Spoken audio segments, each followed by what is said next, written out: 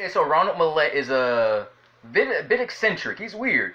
Most of you probably have never even heard of the guy. He's a black man, and he was born, I think, in the 1940s. His father died when he was 10 or 12, and he grew up pretending that, wishing that time travel was real. There's been a lot of movies about time travel.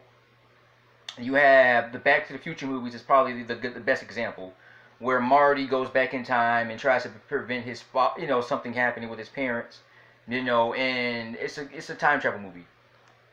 Ronald Mallett believes that time travel could that we can go back and change our past. That if he can go back, he could prevent his father from dying. So Ronald Mallett is a black guy, but he's also has suffered from mental health problems because of that of, of what happened.